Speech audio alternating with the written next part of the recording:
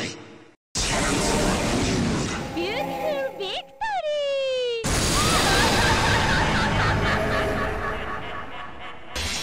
is gonna be a match to remember. Fight!